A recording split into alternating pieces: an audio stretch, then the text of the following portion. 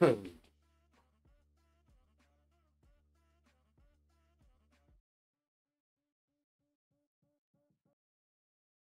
Good evening, student. आज की class में हम थर्मोडायनेमिक्स का सेकेंड पार्ट स्टार्ट कर रहे हैं और सेकेंड पार्ट में हम डिस्कस करेंगे हीट और वर्क स्पेसिफिकली हमने इससे पिछली क्लास में सिस्टम सराउंडिंग हमने लास्ट क्लास में system surrounding types of process etcetera etcetera discuss किए थे और अब हम डिस्कस करेंगे सबसे पहला सिस्टम में एनर्जी कैसे चेंज कर सकते हैं। तो सिस्टम में एनर्जी चेंज करने के दो मेन प्रोसेस और पहला जो सिस्टम में एनर्जी चेंज करने का प्रोसेस है, वो है हीट और हीट को हम क्यू से डिनोट करते तो सिस्टम में एनर्जी को दो तरीके से चेंज किया जा सकता है। पहले को कहेंगे हीट और दूसरा है वर्क जिसको हम डब्ल्यू से रिप्रेजेंट करते हैं। तो इन दो प्रोसेस की मदद से हम किसी सिस्टम की एनर्जी को चेंज कर सकते हैं। तो सबसे पहले हम डील करेंगे हीट के साथ में। हीट को क्यू से दिखाते हैं। केमिस्ट्री में बाय कन्वेंशन अगर सिस्टम को हीट दी है तो हम उसको पॉजिटिव लेंगे। अगर हमने सिस्टम को हीट दी है तो पॉजिटिव लेंगे और अगर सिस्टम से हीट बाहर निकली है तो हम उसको नेगेटिव लेंगे। जैसे मैं सिस्टम हूँ और मैं अपने हाथ पर एक आइस का पीस रख लू तो आइस मेरे बॉडी में से हीट को एब्जॉर्ब करेगी। क्योंकि मैं सिस्टम हूँ तो मेरी जो क्यू है वो नेगेटिव हो जाएगी। अगर मैं अपनी बॉडी पर कोई गर्म कोयला रख लूँ यहाँ पर हाथ पर तो हीट मेरी बॉडी में ट्रांसफ़र होगी। मतलब सिस्टम को हीट मिली तो हम उस हीट को पॉजिटिव लेंगे। ठीक है? अब जो एंडोथर्मिक रिएक्शन होती है, उनमें हीट एब्जॉर्ब होती है और एक्सोथर्मिक रिएक्शन में हीट इमिट होती है। तो हमको कैसे पता लगे कि ये रिएक्शन एंडोथर्मिक है या एक्सोथर्मिक है? तो एंडोथर्मिक रिएक्शन को दिखाने के लिए कई सारे प्रोसेस चलते हैं। तो मैं यहाँ पर आपको समझाता हूँ कितने मेथड से हम एक इंडोथर्मिक रिएक्शन को दिखा सकते हैं। अगर ए बी में कन्वर्ट हुआ और डेल्टा ई e की वैल्यू अगर पॉजिटिव लिखी हुई है तो इसका मतलब है कि वो एंडोथर्मिक रिएक्शन है। अगर डेल्टा एच की वैल्यू पॉजिटिव लिखी हुई है तो भी वो एंडोथर्मिक रिएक्शन है। ये दो कॉमन तरीके हैं। तीसरा तरीका क्या है कि अगर हमारे इस रिएक्शन में ए कन्वर्ट इनटू बी और केवल माइनस एनर्जी लिखा हुआ है तो कई बच्चे ई सोचकर ही इसे देख लेते हैं कि ये तो नेगेटिव है। नहीं, ये भी एंडोथर्मिक रिएक्शन है और वो इसे एक्सो समझ लेते हैं। ये एक्सो नहीं एंडो है। और तीसरा के बाद फोर्थ तरीका ये है कि अगर एनर्जी इधर लिखी हुई है और फिर प्रोडक्ट बना हुआ है तो ये भी एंडोथर्मिक रिएक्शन को डिनोट करने का एक तरीका है। अब ऐसे ही एक्सोथर्मिक रिएक्शन क्या होगी? एक्सोथर्मिक रिएक्शन वो होगी जिसमें हीट लिबरेट होगी। तो जो क्यू होगा वो माइनस हो जाएगा। प्रोडक्ट की एनर्जी कम होगी और रिएक्टेंट की एनर्जी प्रोडक्ट से ज़्यादा होगी, क्योंकि हीट लिबरेट हो रही है। फिर से हम देखते हैं, अगर ए बी में कन्वर्ट होता है और डेल एच की वैल्यू नेगेटिव है तो ये एक्सोथर्मिक को रिप्रेजेंट कर रहा है। अगर ए बी में कन्वर्ट होता है और डेल ई e लिखा हुआ है और वो भी नेगेटिव तो ये भी एक्सोथर्मिक रिएक्शन एग्ज़ाम में बच्चा इस वाले पार्ट में हमेशा फंस जाता है कि ए बी प्लस एनर्जी तो उसे लगता है कि ये एंडोथर्मिक है, नहीं। ये एक्सोथर्मिक प्रोसेस ठीक है ना? और कभी कभी ऐसे करके भी वहाँ दिया होता है ए माइनस एनर्जी ठीक है ना? इक्वल टू बी ये इसको रिप्रेजेंट कर रहा है कि रिएक्टेंट की एनर्जी में से एनर्जी बाहर निकल गई तो एनर्जी प्रोडक्ट की कम हो गई। इस तरह हम चार चार एंडो और चार एक्सो को कर सकते हैं। एंडो में जो क्यू की वैल्यू है वो पॉजिटिव लेंगे और दूसरी बात प्रोडक्ट की एनर्जी रिएक्टेंट की एनर्जी से ज़्यादा होगी, क्योंकि रिएक्टेंट ने एनर्जी एब्जॉर्ब की है। तो हीट को दिखाने के ये तरीके हैं।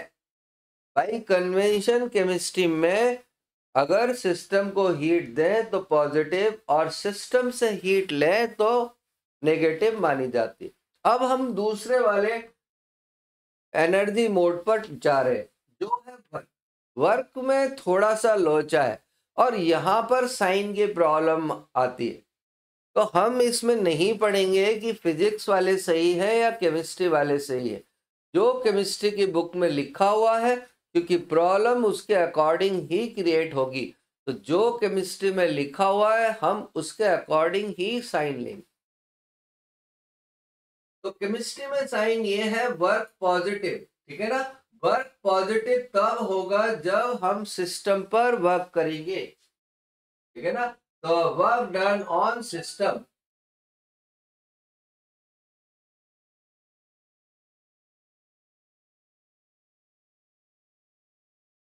जैसे मैं सिस्टम हूँ और कोई मेरे पर अटैक करता है, मेरे को थप्पड़ मारता है तो मेरे बॉडी पर वर्क हुआ है तो ये पॉजिटिव लिया जाएगा। ठीक है ना? अगर वर्क नेगेटिव हुआ तो वर्क डन बाय सिस्टम अगर मैं किसी को थप्पड़ मारता हूँ, अगर मैं किसी को थप्पड़ मारता हूँ तो मैंने वर्क डन किया है तो मेरा वर्क डन नेगेटिव लिया जाएगा।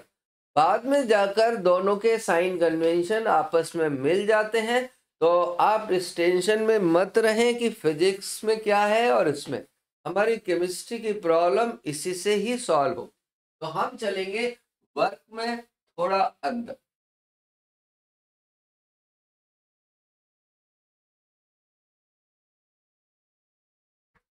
तो वर्क क्या है? बेसिकली चार टाइप का होता है। और वर्क की जो डेफिनेशन है फिजिक्स के अकॉर्डिंग ठीक है ना? वो डेफिनेशन क्या होगी? उसकी डेफिनेशन है एक जनरलाइज फोर्स या जिसको हिंदी में कहेंगे बल, ठीक है ना? एक फोर्स और डिस्प्लेसमेंट उससे जो डिस्प्लेसमेंट हुआ, उसको हम कहेंगे दोनों के प्रोडक्ट को वर्क कहेंगे। अब वर्क फोर टाइप का होता है।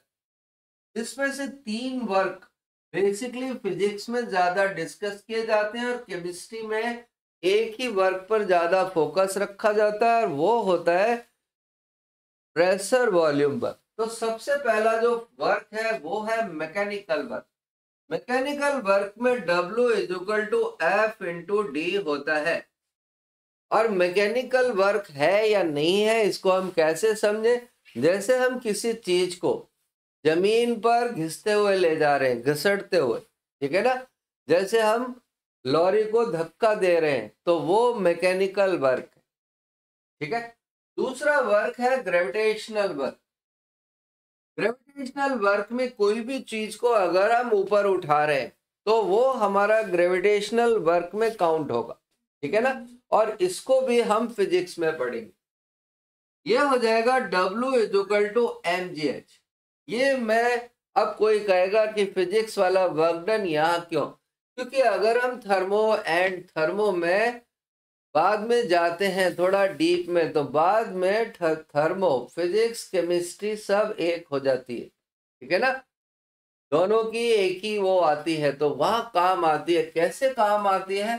जब हम केमिस्ट्री में आगे जाएँगे तो जी बराबर डब्लू होता है। जी बराबर डब्लू होता है। तो वो हमको गिब्स फ्री एनर्जी दे देगा और फिर कहेगा कि वर्क डन कैलकुलेट करो कि पानी को 100 मीटर या एक 60 किलो का आदमी 100 मीटर ऊपर चढ़ता है। तो कितना वर्क डन या कितना ग्लूकोज चाहिए? और ग्लूकोज का जी दे देगा। तो हम यहाँ से इस फॉर्मूले को, क्योंकि हम ऊपर जा रहे हैं ग्रेविटी के अगेंस्ट वर्क कर रहे हैं चढ़ने में तो तब हमें W इजिकल टू एम की ज़रूरत पड़ेगी। अब हम चलते हैं तीसरे वर्ग की तरफ़, और तीसरा वर्ग है इलेक्ट्रिकल वर्क ठीक है ना? इलेक्ट्रिकल वर्क हमारा क्या होगा? ये हमारा हो जाएगा ईएमएफ e यहाँ पर ईएमएफ e फोर्स को रिप्रेजेंट करता है। और क्वांटिटी ऑफ़ इलेक्ट्रिसिटी को क्यू से रिप्रेजेंट करते ठीक है ना? तो किसी ईएमएफ e को एक पॉइंट से दूसरे पॉइंट तक जो करंट जा रहा है, वही डिस्प्लेसमेंट है। और ये तीनों ही वर्क डिटेल में फिजिक्स में ही पढ़े जाते हैं। और जो चौथा वर्क है, वो है W equal to minus P delta V और हमारे यहाँ मोस्टली यही वर्क सबसे ज़्यादा डिस्कस होता है। क्योंकि हमने वहाँ पर वर्क डन पॉजिटिव मान लिया है और यहाँ पर W equal to minus P delta V रखा है। तो जब हम फाइनली फॉर्मूले में रखते हैं तो जितनी मेरी नॉलेज है, उसके अकॉर्डिंग फिजिक्स और केमिस्ट्री यहाँ पर आकर वापस इक्वल हो जाती है। तो साइन फिजिक्स के अकॉर्डिंग हो जाते हैं तो आपको ज़्यादा टेंशन की ज़रूरत नहीं है। अब आई हमारी यूनिट ऑफ़ एनर्जी क्या होगी? फिर हम इसको वर्क को थोड़ा सा डिटेल में पढ़े। तो जो वर्क की यूनिट है, वो बहुत सारी है। ठीक है ना? वर्क को हम इलेक्ट्रॉन बोल्ट में भी कैलकुलेट कर सकते हैं जूल में भी कैलकुलेट कर सकते हैं कैलोरी में भी कैलकुलेट कर सकते हैं अर्ज़ में भी कैलकुलेट कर सकते हैं और एटमॉस्फेयर लीटर में भी कैलकुलेट कर सकते हैं। तो यहाँ पहला क्वेश्चन आता है कि एनर्जी की सबसे बड़ी यूनिट कौन सी है? एनर्जी की सबसे बड़ी यूनिट है एटमॉस्फेयर लीटर एटमॉस्फेयर लीटर में, ठीक है ना वन एटमॉस्फेयर लीटर 101.3 जूल के बराबर होता है। तो ये सबसे बड़ी एनर्जी की यूनिट है, ये ध्यान रखना। दूसरा इनका कन्वर्जन होता है one calorie is equal to four point eighteen joule होता है। ठीक है ना? तो एक कैलोरी में four point one eight joule या फिर हम लमसम फोर पॉइंट टू भी लिख सकते हैं। या फिर वन जूल में zero point two nine calorie के आसपास होगा। ठीक है? नेक्स्ट है one electron volt one electron volt is equal to one point six into ten raise to power minus nineteen joule के बराबर होता है। और ज़्यादातर बच्चे इलेक्ट्रॉन वोल्ट में ही फंस जाते हैं। उनको लगता है इलेक्ट्रॉन वोल्ट तो बहुत बड़ी यूनिट है। और कहीं इसमें उसने अगर किलो और लगा दिया किलो इलेक्ट्रॉन बोल्ट तो उनको लगता है और बड़ी हो गई ठीक है ना? नहीं। इलेक्ट्रॉन वोल्ट छोटी यूनिट, क्लियर? और अगर हमें जूल में कन्वर्ट करना है, जूल को अर्ज़ में तो ten raise to power six से मल्टीप्लाई कर देगी। तो ये थी एनर्जी की यूनिट ध्यान से देख लो और लिख लो। तो क्वेश्चन आएगा, कौन सी एनर्जी की यूनिट सबसे बड़ी होती है? तो सबसे बड़ी यूनिट होती है एटमॉस्फेयर लीटर और इसकी वैल्यू 101.3 जूल के इक्वल होती है। इसका पता होना बेहद ज़रूरी है, क्योंकि जब हम वर्क डन कैलकुलेट करेंगे, जब हम वर्क डन कैलकुलेट करेंगे तो हमें एटमॉस्फेयर लीटर को जूल में कन्वर्ट करना पड़ेगा।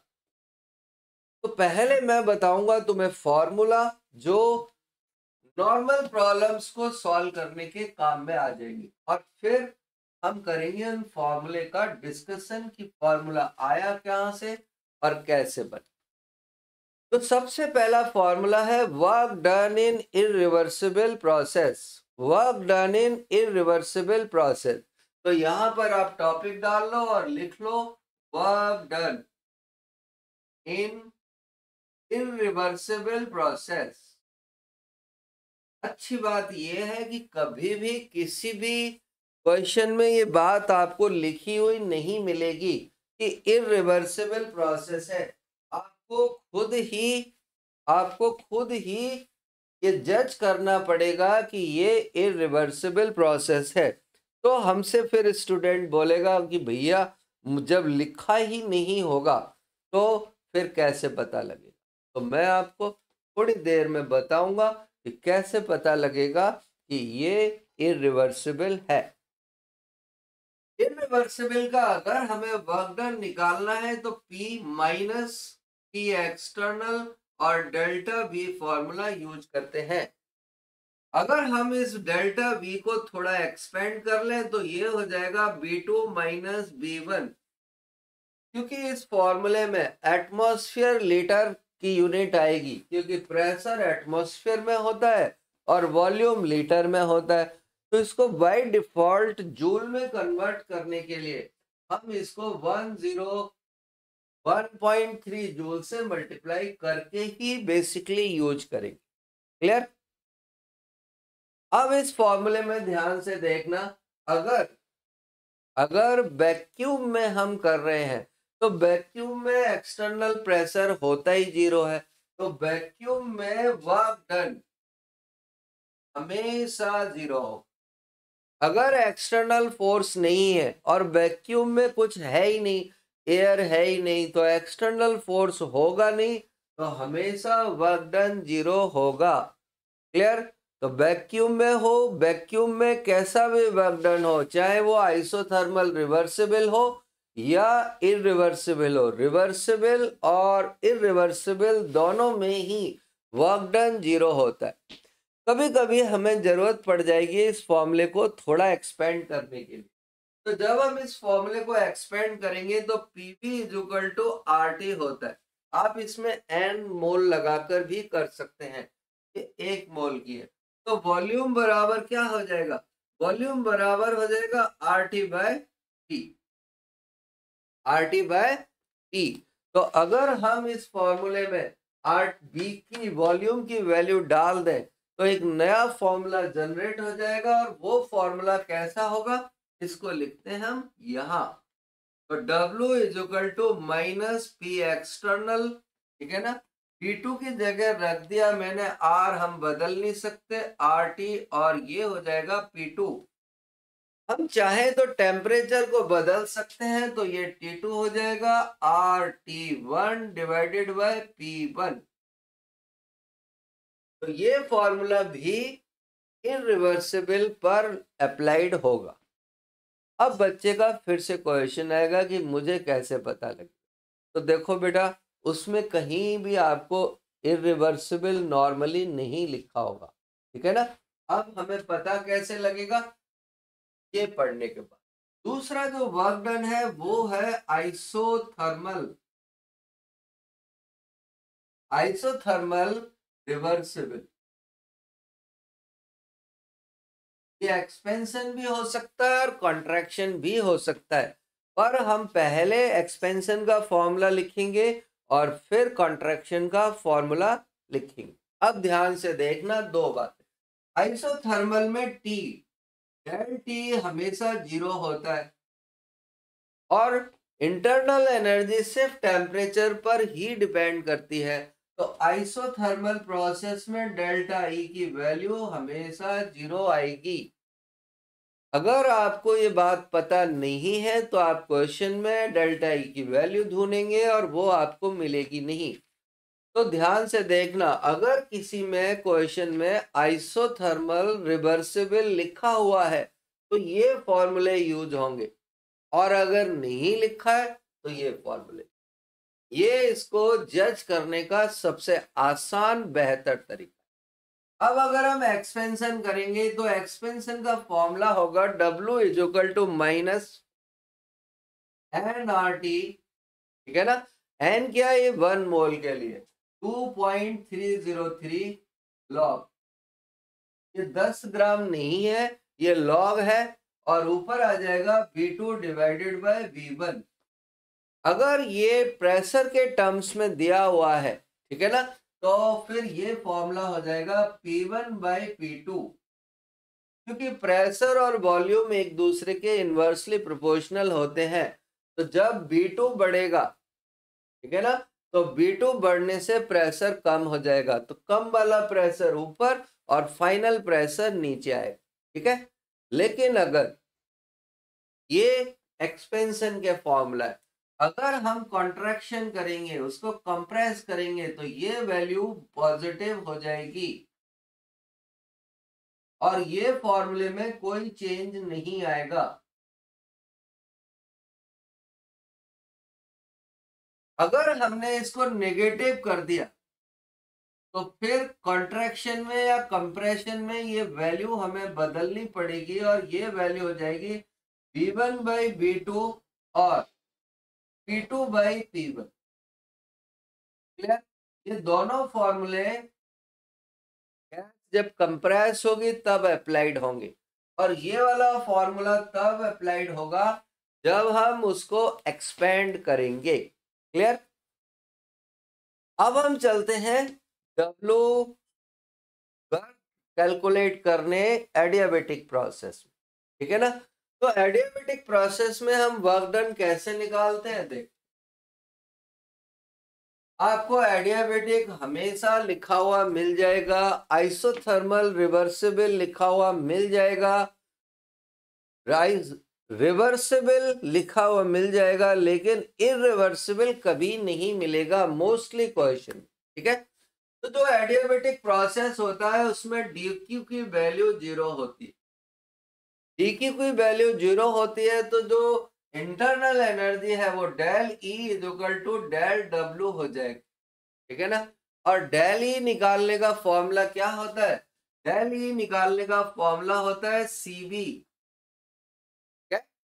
सीबी इक्वल टू याद करो क्या? डी टी और ये है वन मोल के लिए। अगर हम इसको एन मोल के लिए यूज़ करेंगे तो हम इस फॉर्मूले में एन ऐड कर सकते हैं, क्योंकि डेल्टा ई ही डेल्टा डब्ल्यू के बराबर होती है तो ये हमारा हो जाएगा C V into D T और अगर हम वन मोल के लिए यूज़ करते हैं तो हो जाएगा एन सी बी और डी टी क्लियर इस फॉर्मूले को अगर हम, ठीक है ना? अगर हम इसका इंटीग्रेशन करते हैं तो फाइनल फॉर्मूला क्या आ जाएगा? W is equal to N, clear? N, अब CV की वैल्यू किसके बराबर होती है? ठीक है? तो CV की वैल्यू बराबर होती है R divided by gamma one के, और ये इंटू हो जाएगा T two minus T one तो इस फॉर्मूले से हम वर्क डन निकालेंगे, ठीक है? और इसमें माइनस साइन तो हम इससे एडियामेटिक प्रोसेस का वर्क डन निकालेंगे और मोस्टली क्वेश्चन फॉर्मूले बेस्ड होते हैं, पर जेई में इंटीग्रेशन भी करवाता है, क्योंकि वहाँ उनको इंटीग्रेशन करने में कोई ज़्यादा प्रॉब्लम नहीं होती।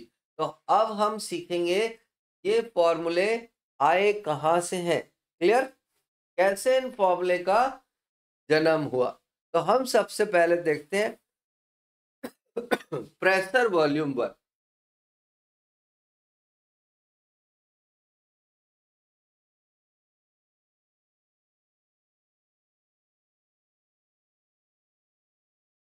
तो हम देख रहे हैं प्रेशर वॉल्यूम वर्क में, ठीक है ना? एक्सपेंशन वर्क में। तो एक्सपेंशन वर्क में जब हम वर्क डन देखेंगे तो हम सब जानते हैं, वर्क डन जो होगा वो किसके इक्वल होगा? वर्क डन इक्वल होगा हमारा ई इंटू डेल बी के। डेल बी का मतलब है, अगर डी साइन लगाते हैं तो वॉल्यूम में बहुत ही स्मॉल चेंज होगा। और अगर ट्रायंगल लगाते हैं तो थोड़े से बड़े चेंज को रिप्रेजेंट करता है। पर दोनों में कोई बहुत बेसिक फ़र्क नहीं है। अब हम आगे चलते हैं। अगर हम गैस को B1 वॉल्यूम से B2 वॉल्यूम तक एक्सपेंड करते हैं तो ये हमारी इक्वेशन ठीक है ना? W बराबर हमारी इक्वेशन क्या हो जाएगी? B2 और B1 ठीक है? और यहाँ हो जाएगा पी डी PDB क्योंकि इरिवर्सिबल प्रोसेस है, हम इसको इरिवर्सिबल एक्सपेंशन कर रहे हैं तो इरिवर्सिबल एक्सपेंशन में एक्सटर्नल प्रेशर कांस्टेंट रहेगा। तो हम उस कांस्टेंट पार्ट को निकाल कर आगे ले आएँगे। तो W बराबर हो जाएगा P और B2 B1 और DB अब हम जब इसका इंटीग्रेशन करेंगे तो हमें ये फॉर्मूला मिलेगा W is equal to P external P external ठीक है? और ये हो जाएगा V two minus V one तो हमारा इरिवर्सिबल प्रोसेस का फॉर्मूला आपके सामने आ गया है। अब इसकी जो यूनिट है, वो होगी एटमॉस्फेयर लीटर पर नॉर्मली आप देखोगे आपको वर्क डन जूल में ही मिलेगा। तो यहाँ पर बच्चे को याद होना चाहिए। ठीक है ना? अब हम यहाँ पर नेगेटिव साइन लगा देंगे क्योंकि केमिस्ट्री में W equal to minus X लिया जाता है। एक्सपेंशन के लिए माइनस लिया जाता है। अगर कंप्रेशन होता तो सिंपल छोड़ दे क्लियर तो हमने यहाँ पर एक फॉर्मूला डिराइव कर लिया है। अब हम दूसरा फॉर्मूला या इसी को लिख देते W equal to minus P external V two minus V one into one zero one point three joule और मोस्टली यही फॉर्मूला यूज़ होता है। तो सबसे पहले आप फॉर्मूला याद करो और फिर इसको डिराइव करने की जुगाड़ देखो। क्लियर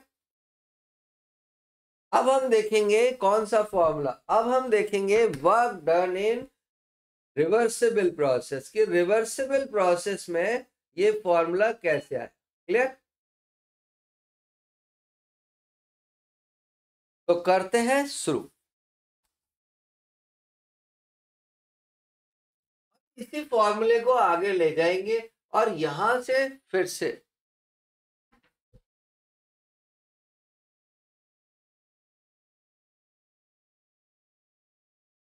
अब जो रिवर्सिबल प्रोसेस होता है, उसमें एक्सटर्नल फोर्स उसमें जो एक्सटर्नल फोर्स होता है, वो इंटरनल फोर्स के लगभग बराबर होता है तो हम उसको कांस्टेंट नहीं मान सकते हैं हम उस फोर्स को कांस्टेंट नहीं मान सकते। आपको एक मिनट लगेगी, मैं वापस से लौट के आता ओके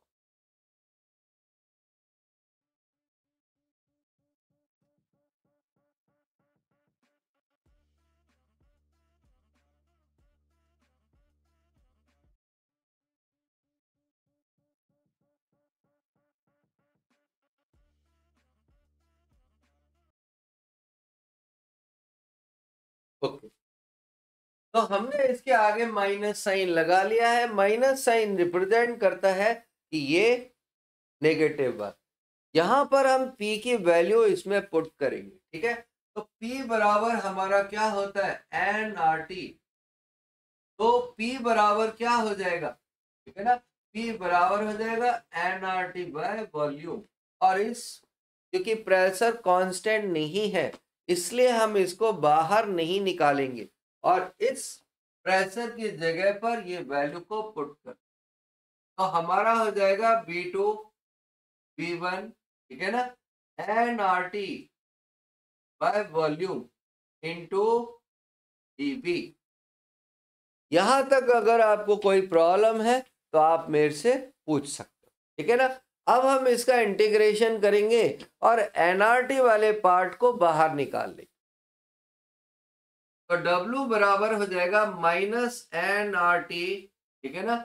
लिमिट B2 और B1 के बीच में, और ये हमारा हो जाएगा dB डिवाइडेड बाय वॉल्यूम और जब हम इसको फर्दर एक्सपेंड करेंगे तो ये फॉर्मूला हो जाएगा W is equal to minus N R T L N B two by B one L N की वैल्यू इसके बराबर होती है two point three zero three log base ten log base ten L N log E के बराबर होता है। तो अगर मैं इस एल एन की वैल्यू यहाँ पुट कर दू तो N R T log base ten B two by B one हो जाएगा।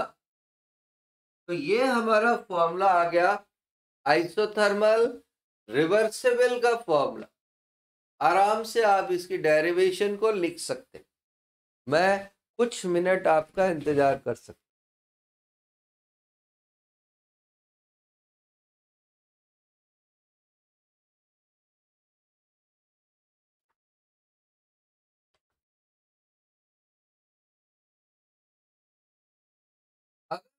यहाँ पर प्रेशर रखूँगा तो यही फॉर्मूला हो जाएगा is equal to minus N R T log P one by P two तो ये फॉर्मूला प्रेशर के टर्म्स में लिखा हुआ है और ये फॉर्मूला वॉल्यूम के टर्म्स में लिखा हुआ है। क्लियर तो हमारे दो फॉर्मूले आ गए। अब हम देखेंगे इसमें ज़्यादा वर्क डन होता है। आइसोथर्मल रिवर्सिबल में या फिर इरिवर्सिबल प्रोसेस में? तो हमने क्या किया? एक ग्राफ खींचा। और ग्राफ में हमने इस स्केल पर प्रेशर ले लिया और इस वाले स्केल पर वॉल्यूम ले लिया। ठीक है ना? तो जब हम ग्राफ खींचते हैं तो ये ग्राफ हमको ऐसा मिले।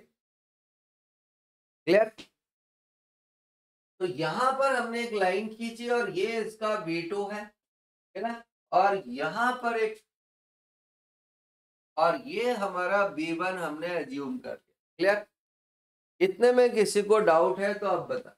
अब देखो रिवर्सिबल इरिवर्सिबल प्रोसेस में एक्सटर्नल प्रेशर कांस्टेंट रहता है। तो वैसे तो हम ये वाली लाइन यहाँ नहीं खींच सकते, ऐसे है, लेकिन रिवर इरिवर्सिबल प्रोसेस में ये प्रेशर एक्सटर्नल कांस्टेंट रहेगा। जबकि इरिवर्सिबल प्रोसेस में प्रेशर स्लाइटली कम होता जाता है। प्रेशर स्लाइटली कम होता जाएगा तो जब स्लाइटली कम होता जाएगा, है ना? तो क्या होगा? ये ग्राफ आएगा। मतलब इसको हम ऐसे करके भी दिखा सकते तो इरिवर्सिबल में इतना वर्क डन हुआ। जबकि रिवर्सिबल में इतना एक्स्ट्रा वर्क डन तो कहीं पर नोट कर लो रिवर्सिबल में वर्क डन ज़्यादा होता है और ये बराबर होगा ए बी बी वन और बी टू के बराबर, ठीक है ना? तो रिवर्सिबल में वर्क डन होगा A B B one B two जबकि इरिवर्सिबल में इस पॉइंट को हम मान लेते हैं सी तो बी सी बी वन और बी टू अब आपको दिख रहा होगा कि रिवर्सिबल में वर्क डन हमेशा इरिवर्सिबल के कंपैरिजन में ज़्यादा हो। ठीक है? अब हमने फॉर्मूले सारे तीन फॉर्मूले देख लिए हैं। बाकी आइडियाबेटिक के फॉर्मूले हम थोड़ा बाद में देखेंगे और अब हम करते हैं कुछ क्वेश्चन हमारे पास पहला क्वेश्चन है।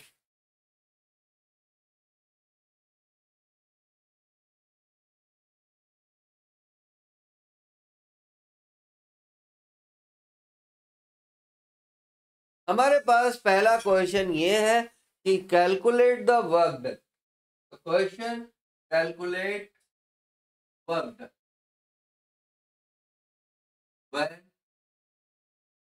4 liter gas expand up to 14 litre हमने 4 लीटर गैस को 14 लीटर तक एक्सपेंड कर दिया at constant pressure of at constant pressure of 10 atmosphere तो देखो, इस पूरे क्वेश्चन में कहीं भी इरिवर्सिबल नाम का शब्द नहीं है। तो आपको सिर्फ़ इतना देखना है कि कहीं आइसोथर्मल रिवर्सिबल लिखा है। अगर नहीं लिखा है तो हम इरिवर्सिबल वाला फॉर्मूला यूज़ करें। तो हमारा फॉर्मूला हो जाएगा W equal to minus P external negative B two minus B one into one hundred one point three external pressure इसमें गिवन है ten atmosphere volume 14 minus four हो जाएगा और 101.3 से इसको मल्टीप्लाई कर इन सबको मल्टीप्लाई करेंगे, ठीक है ना? तो जूल में आंसर आ जाएगा, पर मोस्टली आंसर क्लो जूल में होता है। तो इस पूरी होल होल वैल्यू को हम थाउज़ेंड से डिवाइड भी कर देंगे। इसलिए करेंगे? किलो जूल में। इससे जो वैल्यू आएगी वो हो जाएगी thirteen point sorry ten point thirteen kilo joule और वैल्यू देंगे, क्योंकि एक्सपेंशन ये था हमारा फ़र्स्ट न्यूमेरिकल जो हमने इसमें अप्लाइड ठीक है? अब हम देखते हैं नेक्स्ट क्वेश्चन नेक्स्ट क्वेश्चन हमारा क्या कहता है? हमने one mole one mole H two को इवॉपरेट कर दिया। हमारे पास वन मोल एच टू था और हमने उसको 100 डिग्री टेम्परेचर पर इवॉपरेट कर दिया एटमॉस्फेरिक प्रेशर पर। तो वर्क डन निकाल। क्वेश्चन ऐसे होगा calculate the work done when one mole of water at 373 kelvin temperature and at atmospheric pressure convert into vapours ठीक है? अगर हम एक मोल वाटर को एटमॉस्फेरिक प्रेशर पर 100 डिग्री टेम्परेचर सेंटीग्रेड टेम्परेचर या 373 केल्विन टेम्परेचर पर इवोपरेट करते हैं तो उसका फॉर्मूला क्या होगा? अब यहाँ पर हमें क्या करना पड़ेगा? हमें निकालना पड़ेगा एक मोल वाटर का, एक मोल वाटर की वेपर्स का 373 केल्विन टेम्परेचर पर वॉल्यूम कितना होगा? क्लियर तो हमें फॉर्मूला यहाँ पर यूज़ करना पड़ेगा पीवी एनआरटी ठीक है? प्रेशर हमें पता ही है, वन एटमॉस्फेयर है, वॉल्यूम हम निकालना चाहते हैं, वन मोल वाटर है, आर की वैल्यू क्या होगी? क्योंकि एटमॉस्फेयर लीटर में ले रहे हैं तो zero point eight two one इसकी वैल्यू हो जाएगी आर की, और टेम्परेचर हो जाएगा थ्री सेवेंटी थ्री। इन सबको हम जब कैलकुलेट करेंगे तो हमारी वैल्यू आ जाएगी थर्टी पॉइंट सिक्स के अप्रॉक्स। मतलब one mole one mole H two का 373 कैलविन टेम्परेचर पर वॉल्यूम इतना हो जाएगा। अब हम इसको इस फॉर्मूले में रख दें। Is equal to minus P P की जगह हमने वन रख दिया, V टू की जगह ये रख दिया। ये है लीटर में। वन मोल वाटर का, ठीक है ना? नॉर्मल वॉल्यूम 18 एम एल तो 18 M L thirty six thirty point six litre के कंपैरिजन में बहुत ही छोटी वैल्यू है। इसलिए आप चाहो तो माइनस कर सकते हो, बहुत ही एक्यूरेट आंसर के लिए, नहीं तो नेग्लेक्ट कर सकते हो। इन सबको मल्टीप्लाई और डिवाइड करने पर इसकी वैल्यू आ जाएगी three zero nine nine point eight है ना? और गलती क्या हुई? हमने इसमें अभी भी one zero one point three को मल्टीप्लाई नहीं किया बिना मल्टीप्लाई करे ये जूल में नहीं आ सकती। और क्लोज जूल में कन्वर्ट करने के लिए हम इसको डिवाइड कर देंगे थाउज़ेंड से। अगर हम इस वैल्यू को थाउज़ेंड से डिवाइड कर देंगे तो हमारा जो डब्लू है, वो अप्रोक्स आ जाएगा नेगेटिव थ्री पॉइंट ठीक है ना? वन ज़ीरो के अप्रॉक्स क्लियर तो ये है हमारा दूसरा न्यूमेरिकल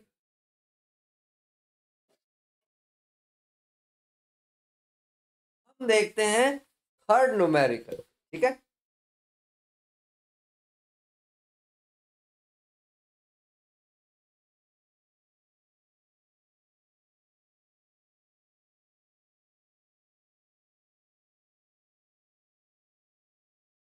थर्ड न्यूमेरिकल हमारा ये है कि eight gram helium gas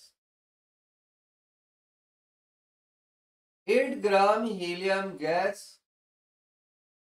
ठीक है ना? Expand isothermal reversal expand isothermally and reversible तो देखो, ये वर्ड आते ही, ये शब्द आते ही हमको पता लग गया कि कौन सा फॉर्मूला यूज़ हो। From ten litre to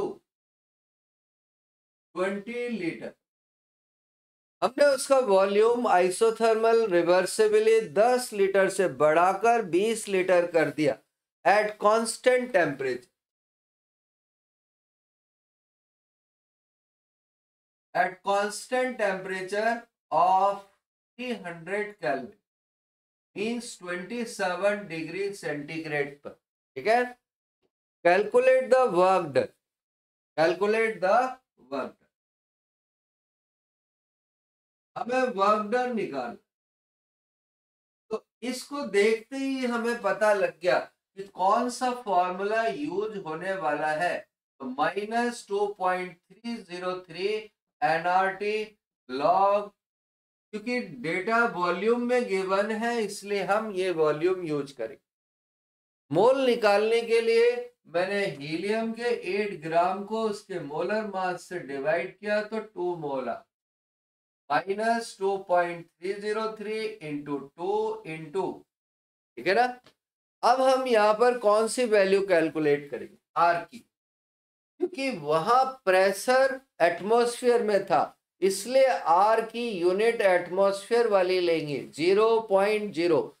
लेकिन यहाँ पर हमें जूल में निकालना है तो हम जूल वाली वैल्यू को यूज़ करें। ठीक है ना? टेम्परेचर 300 और ये हो जाएगा लॉग ट्वेंटी बाय टेन। ये डिवाइड किया लॉग टू आ जाएगा।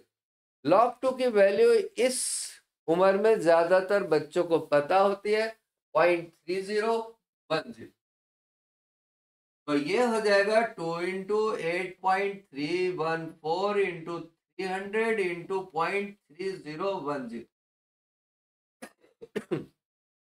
इन सारी वैल्यूज़ को जब हम मल्टीप्लाई और डिवाइड करेंगे तो ये हमारा आंसर आ जाएगा minus three four eight seven joule उसको अगर आपको किलो जूल में कन्वर्ट करना है तो आपको थाउज़ेंड से डिवाइड भी करना पड़ेगा।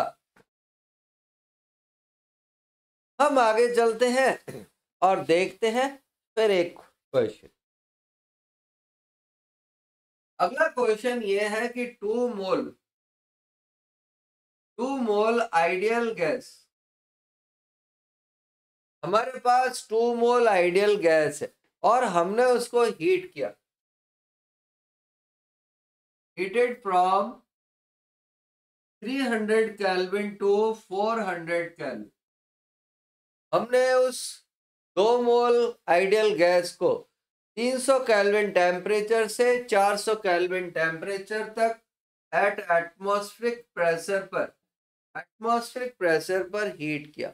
कैलकुलेट वर्क फिर से हमें सबसे पहला डाउट यही आया। सबसे पहला डाउट यही आया कि फॉर्मूला कौन सा यूज़ होगा। तो देखो, ना तो इसमें कहीं एडियाबेटिक शब्द लिखा हुआ है तो एडियाबेटिक वाले फॉर्मूले यूज़ नहीं कर सकते। ना इसमें क्या है कि आइसोथर्मल रिवर्सिबल लिखा हुआ है, जो हम ये यूज़ कर लें। तो हम फॉर्मूला यूज़ करेंगे ये वाला E external B two minus B one और प्रॉब्लम ये आ गई कि भैया इसमें तो वॉल्यूम है, और यहाँ टेम्परेचर दे रखा है तो हमें पी पीवी एनआरटी रखकर या पी पीवी एनआरटी रखकर इस फॉर्मूले को चेंज करना पड़ेगा। तो जब इस फॉर्मूले को हम चेंज करेंगे तो देखना भैया क्या हो जाएगा। ये फॉर्मूला हो जाएगा W is equal to minus P external clear और यहाँ हो जाएगा एन आर टी बाय ठीक है ना टी टू और नीचे आ जाएगा, नीचे क्या आ जाएगा? T two minus N R T T one divided by P one अब हम इसमें वैल्यू रखना शुरू करें ठीक है? रखना शुरू कर दें वैल्यू को, नहीं तो करते हैं शुरू। ही एक्सटर्नल एक है। एन दो है।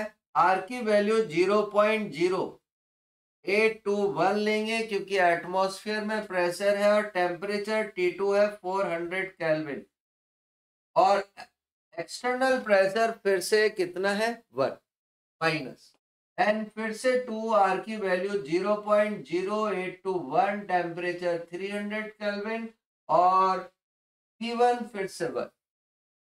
इन सबको हम मल्टीप्लाई और डिवाइड करेंगे तो ये वैल्यू आ जाएगी minus one six four two atmosphere litre. अब अगर हमको एटमॉस्फेयर लीटर को किलो जूल में कन्वर्ट करना है या जूल में कन्वर्ट करना है तो बताओ किससे मल्टीप्लाई किया जाएगा? इससे हम मल्टीप्लाई करेंगे 101.3 से क्योंकि एक एटमॉस्फेयर लीटर एक एटमॉस्फेयर लीटर बराबर होता है 101.3 के क्लियर तो आज की क्लास में हमने वर्क डन के ऊपर काफ़ी इंपॉर्टेंट चीज़ें सीखी हैं और वो चीज़ें ये हैं। वैक्यूम में चाहे रिवर्सिबल हो, चाहे इरिवर्सिबल हो वर्क डन ज़ीरो होगा। पहली बात।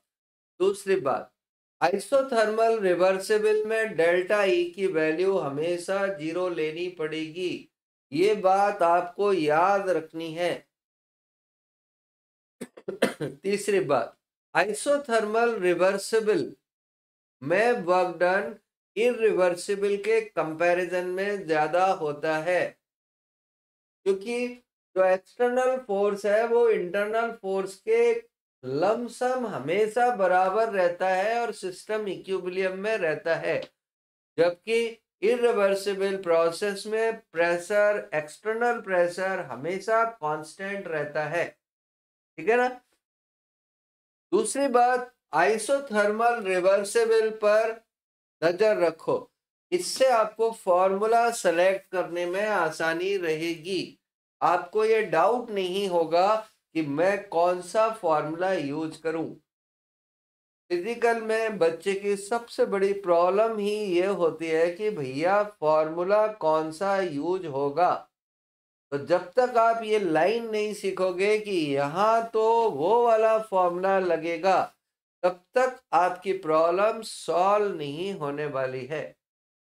नेक्स्ट क्लास में हम अगले टॉपिक पढ़ेंगे और वो होंगे internal energy first law of thermodynamics और उसकी एप्लीकेशन तो नेक्स्ट क्लास या तो कल, नहीं तो थर्सडे को सिक्स ओ क्लॉक आपको मिल जाएगी थैंक you.